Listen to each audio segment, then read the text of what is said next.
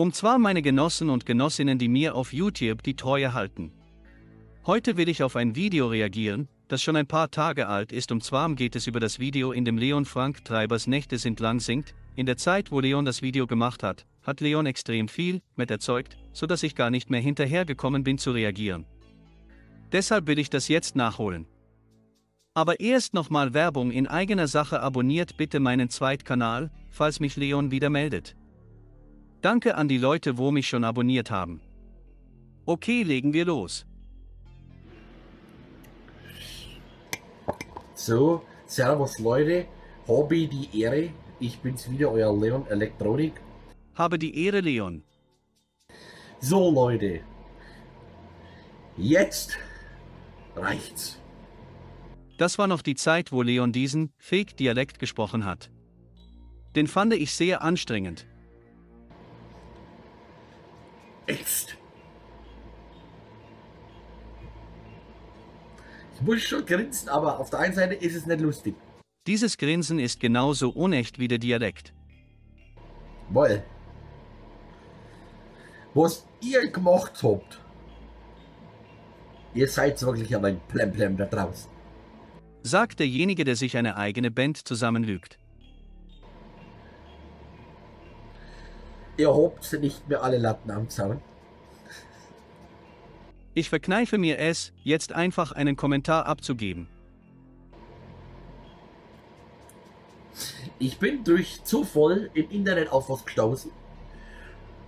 Da habt sich doch da, da haben doch tatsächlich und zwar einer von euch Idioten Mit diesem schlecht nachgemachten Dialekt kann ich niemanden ernst nehmen.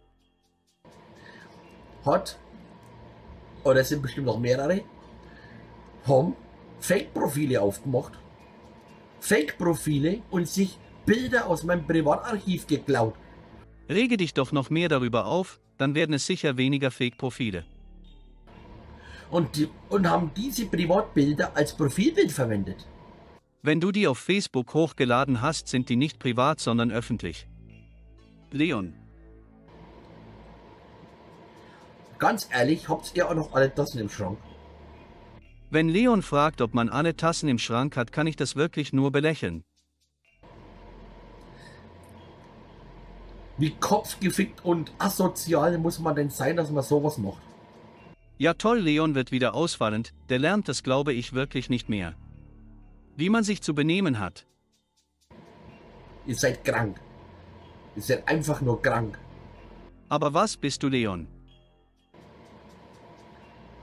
Ihr könnt in die Psychiatrie eingewiesen. Okay, wenn du das sagst.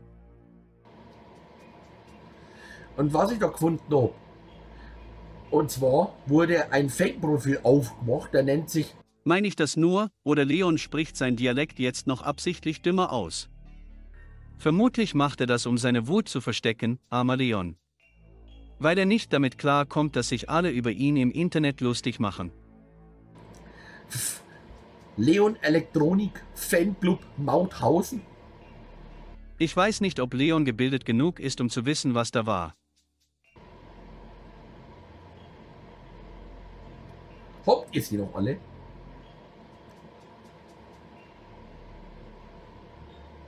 Bei euch setzt der Verstand aus, würde ich sagen.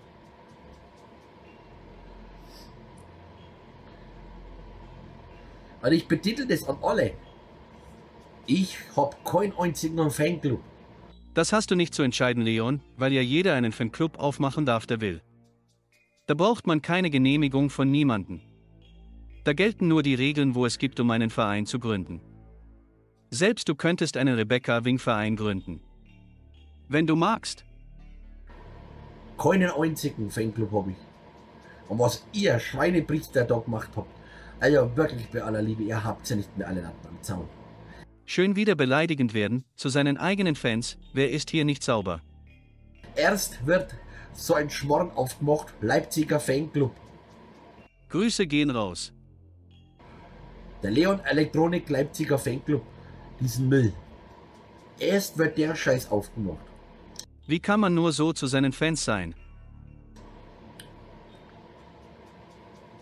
dann wurden immer mehr andere Fake-Profile aufgemacht von Bildern, die ihr euch aus meinem Privatarchiv rausgeklaut habt von Facebook.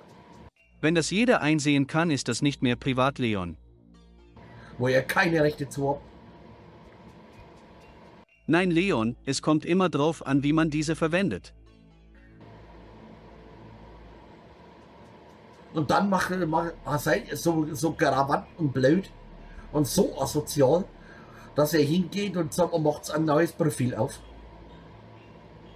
Und nennt das Leon Elektronik Mauthausen.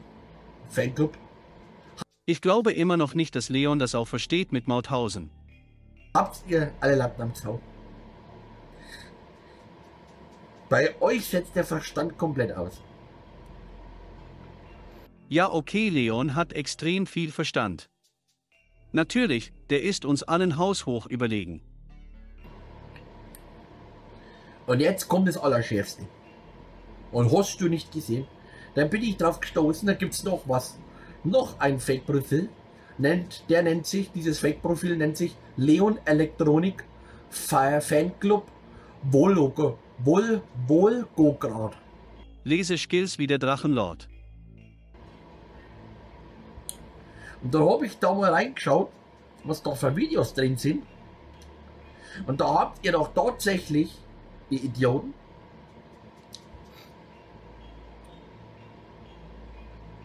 aus einem Video von mir ist eine Szene rausgeschnitten, wo ich herzhaftes Lachen angefangen habe. Und das habt ihr zusammengeschnitten. Ich finde das extrem lustig, hat auf jeden Fall Meme-Potenzial. Wo ich sage, da rattert es am falschen Verstand mit euch. Was? Es rattert am falschen Verstand. Leon wirft willkürlich irgendwelche Redewendungen zusammen. Man könnte fast sagen, Leon misshandelt die deutsche Sprache. Leidl, und was ist passiert? Ganz einfach. In diesem Video, wo meine Lache mit eingeschnitten worden ist, da wird gezeigt, wie der Oliver Bocher geschlagen wird in der Öffentlichkeit. Und dann danach wird meine Lache mit eingeschnitten. Das Internet macht sich über dich lustig, und jetzt? Über so ziemlich alle Promis gibt es irgendwelche Memes, indem die aufs Korn genommen werden. Und dann wird sich da noch drüber aufgegeilt, Leon Elektronik lacht Oliver Bocher aus. Der Mann ist ja angeblich auch ein Komiker. Sag mal, habt ihr noch alle Latten am Zaun? Seid ihr noch bescheuert? Seid ihr da draußen noch komplett bescheuert? Das, was ihr da macht, das ist Rufschädigung. Eine Rufschädigung gegen mich. Jeder sieht doch, dass es zusammengeschnitten wurde. Zumindestens Leute mit Restverstand. Deswegen ist das auch kein Rufmord, meiner Meinung nach. Ich würde niemanden auslachen. Und schon gar nicht, wenn da Gewalt im, Gewalt im, im Verzug ist. Aber drohen geht vollkommen klar. Weil Gewalt gehört sich nicht. Egal wer es ist. Aber Leon droht trotzdem mir mit Gewalt. Wir uns da mal gleich richtig verstehen. Ihr seid nicht mehr normal. Ich bezweifle, dass Leon normal ist. Ihr seid das allerletzte wirklich. Ich halte es für das allerletzte anderen Leuten zu drohen. Und was dann auch noch frech ist, dass es mittlerweile schon Telegram-Gruppen Telegram -Gruppen gibt, denen sich da aufgegeilt wird, indem man zwar meine, sogar meine private Telefonnummer umgeht. Pass halt in Zukunft besser auf mit deinen Daten. Und dann ist noch Folgendes passiert. Vor kurzem, wo ich mir denke, ihr habt nicht mehr alle Latten am Zaun. Dann wurde doch tatsächlich erneut von euch Arschlöchern weitere Lieferdienste in meinem Namen angerufen. Ihr Arschlöcher, ihr Arschlöcher da draußen habt Sorry und Schreibe und zwar Lieferdienste über meinen Namen angerufen. Ich halte das nicht für okay, aber wenn du so eine Ansage machst, wird das auch nicht weniger. Habt diese Lieferdienste daher geschickt? An meine Haustür, an meine persönliche Haustür. Euch ist klar, das, was ihr da hergeschickt habt, was ich auch noch hätte bezahlen dürfen, euch ist klar, dass das Essen, was ihr da mir zugeschickt habt, ja, und das in einem Abstand und hast du nicht gesehen, das ist alles Lebensmittelverschwendung. Okay, Leon. Aber wenn du dich so aufregst im Internet, wird das auch nicht weniger. Eine brachiale Lebensmittelverschwendung. Andere Menschen müssen hungern und ihr spielt so mit dem Essen rum? Ja, toll stachel die Leute noch weiter an dir etwas zu bestellen. Ist ja nicht so, dass du die Leute im Internet nicht auch ein wenig provozierst. Auch wenn das nicht in Ordnung ist, dir etwas zu bestellen, du trägst auch ein wenig Eigenverantwortung. Dazu. Besonders da du weißt, dass deine Adresse bekannt ist. Mit Essen spielt man nicht. Wie krank seid ihr eigentlich? Oh, woanders müssen Menschen hungern. Und ihr spielt so mit dem Essen. Man hört einfach die Aggression aus Leons Stimmlage. Es scheint ihn zu beschäftigen. Wenn ich was zum Essen will, dann kaufe ich es mir selber. Denke nur eine an die Wurst aus dem Livestream. Da brauche ich nicht solche Arschlöcher wie ihr, die sich da hinsetzen und aufgeulen. Ich muss doch gleich mal richtig verstehen. Hä? Das muss doch gleich mal richtig verstehen. Und ich gnade euch Gott, wenn ihr so weitermacht mit diesen Essenslieferanten in meinem Namen anrufen. Diesen Anrufbetrug unter meinem Namen, wenn ihr damit weiter rumzündelt. Dann setze ich, und zwar meinem Rechtsanwalt, dann setze ich einen ausgebildeten und sondern einen Rechts, einen ausgebildeten Rechtsanwalt ein, der sich nur für dieses Thema zum Betrug spezialisiert hat. Wie hat dein Rechtsanwalt nicht studiert? Aber mal Spaß beiseite, es ist leider schwierig, an solche Leute ranzukommen.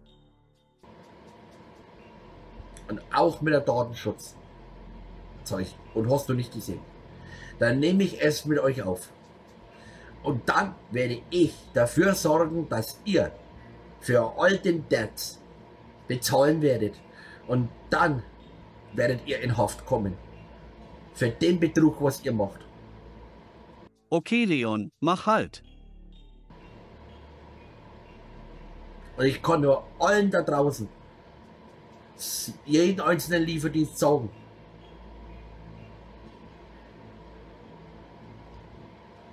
die Leute, die euch anschreiben oder anrufen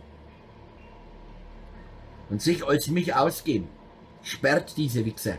Das sind Betrüger. Das sehen natürlich jetzt alle Lieferdienste, Leon. Und hören auf die etwas zu liefern. Das sind Betrüger, die nichts Besseres im Kopf haben, als sozusagen einen Menschen wie mich zu belästigen. Und jetzt frage ich diese Leute mal, wie würdet ihr euch fühlen, wenn ich erst einmal anfange anfang aufzudrehen und mit euch das gleiche Spiel mache? Du weißt doch nicht, wo die Leute wohnen, wo das machen. Findet ihr sowas gut? Sowas kann man nicht gut finden, sowas ist herzlos. Herzlos und einfach nur krank im Kopf. Aber mir zu drohen ist nicht herzlos, Leon. Und asozial und, und bescheuert. Und an diese Menschen kann ich nur sagen, die sowas machen. Ihr seid die größten Arschlöcher. Die allergrößten Arschlöcher.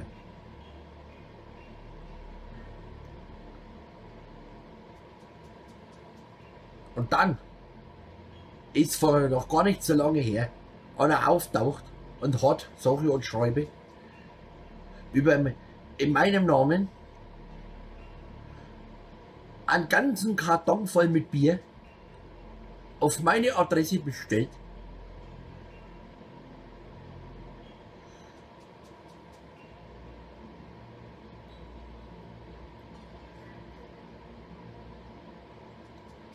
Die habe ich aber wieder zurückgehen lassen. Ja, okay, das ist dein Recht. Weil ich hätte dafür bezahlen müssen. Und es waren locker zwischen, zwischen 160 und, zwischen 160 und 220 Euro. Das ist aber eine große Preisspanne, ich bin auch zwischen einem Meter 60 und 2,20 Meter groß. Aber was war das für teures Bier, Leon, würde mich echt interessieren. Und dann sage ich, da setzt der komplette menschliche Verstand aus. Erst spielt ihr mit dem Essen rum und zwar bescheißt Lieferdienste nach Strich und Faden und das, im, und das unter meinem Namen, ihr falschen Schlangen. Und dann, und zwar, und dann, und zwar, und dann begeht ihr noch unseren Betrug mit Brauereien. Jetzt seid ihr auf Leons Todesliste, das mit Brauereien geht ja mal gar nicht. Ihr habt sie nicht mehr alle, das habt ihr im Schrank. Ihr Menschen seid brachiale und zwar Idioten. Ein Idiotenpack von der letzten Sippe. Und eins garantiere ich euch, wenn ihr so weitermacht oder irgendein Arschloch noch meint, er muss mich an meiner privaten Adresse aufsuchen, dann geht's erst richtig los. Dann bringe ich euch in die Forensik. Leon, bitte keine Leute mehr anstacheln. Und ich bring euch in den und ich bring euch in den Bau. Der steht fest. Pass auf, dass du da nicht landest. Jetzt ist Schluss. Mir reicht's. Ich hab die Schnauze voll.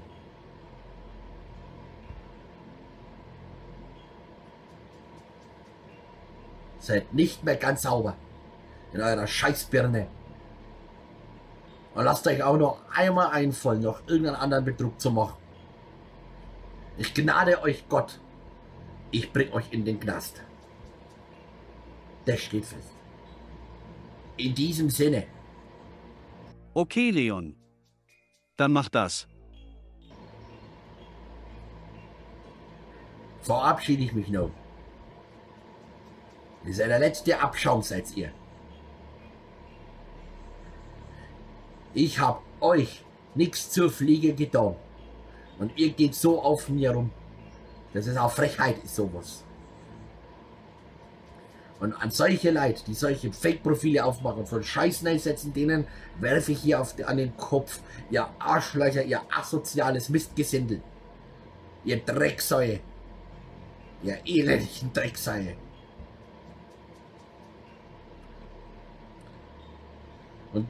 Und, und, zwar, und das findet ihr lustig, ja? Findest du das lustig, mein Freund? Das ist nicht mehr lustig. Ich, du bist der Nächste, der in die Forensik kommt, den ich in den Knast bringe. Ja. Leon kann man halt null ernst nehmen. Ja. Und das da, was ich da gesehen habe, das gebe ich weiter an die Polizei und dem Anwalt. Und dann wird's krachen, dann schlägt die Bombe ein. Und natürlich auch an das LKA weil mir reicht's. Und kommt meiner Adresse noch einmal zu neu. Dann droht euch euer schlimmster Albtraum. Einer von euch noch, der sich hier noch einmal an meiner privaten Adresse zu schaffen macht, den gnade ich Gott. Den lass ich's dreckig gehen. Das steht fest. Toll, wie Leon seinen Fans droht. Und irgendein Idiot, der meint, er muss mich noch einmal mein Privatleben verfolgen. Dann werde ich es euch gewaltig zeigen. Dann ziehe ich euch vor Gericht. Und dann werdet ihr bestraft. Und ich werde Schadensersatz rausholen. Und hast du nicht gesehen. Und dann kommt ihr in den Knast. Jetzt ist genug. Jetzt langt's. Leon, es reicht mit deinen Drohungen. Und weswegen am Essen? Ich euch noch was. Mit Essen spielt man nicht. Woanders müssen Menschen hungern. Auf der Welt. Die können sich ja nicht einmal so ein, nicht einmal so ein gutes Essen leisten. Das hat er schon mindestens dreimal gesagt. Und zweitens, die Arbeit, was sich da Lieferdienste machen, das Essen zu kochen und hinterher können sie es wegschmeißen. Und das alles wegen euch Arschlöchern. Und das nennt man uns Lebensmittelverschwendung. Und an diese Menschen, die äh, sowas machen, wie hier bei meiner Privatadresse mit Lieferdienste und hast du nicht gesehen, an diese Menschen kann ich nur sagen, das Essen, was da weggeschmissen worden ist, euch sage ich ans. Ihr solltet mal, und zwar, ihr solltet mal wirklich hungern. Ihr solltet da mal sehen, wie es ist, wenn man, wenn man hungert, wenn man nichts mehr zum Essen kriegt. Damit ihr auch mal merkt, dass man mit Essen nicht spielt. So eine Erfahrung würde Leon sicher auch mal gut tun. Dann hat er vielleicht auch mal mehr Respekt vor den Leuten. Ich hoffe, ich habe mich klar ausgedrückt. Diese Betrügereien gehen mir jetzt langsam auf den Zeiger. Hier, da hat der Zimmermann das Loch gelassen. Da hat der Zimmermann das Loch gelassen. Leon ist, glaube ich, der größte Mimon Baraka-Fan auf YouTube. Und wenn ihr so weitermacht und so weiter zündelt, dann werde ich euer schlimmster Albtraum. Da könnt ihr Gift drauf nehmen. Jetzt reicht's. Vor Leon hat, glaube ich, niemand Angst. Nicht mal der Hund von Urbex.